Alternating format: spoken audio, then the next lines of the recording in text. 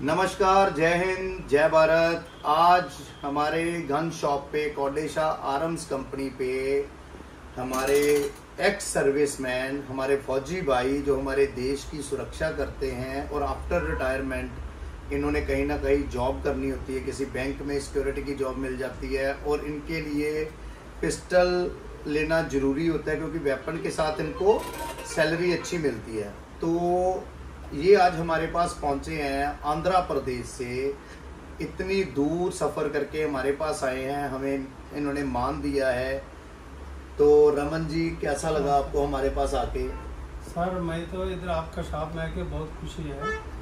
इतना दूर से आया, बहुत खुशी हुआ हूँ। अच्छा शॉप है अच्छा जो भी गन्ना, जो भी मॉडल मिल सकते हैं इधर। अगला मेरा जो भाई लोगों को भी बताएगा। उसको बता के। आपको हमारी डीलिंग कैसी लगी? डीलिंग बहुत अच्छा सर बहुत ही परफेक्ट डीलिंग है।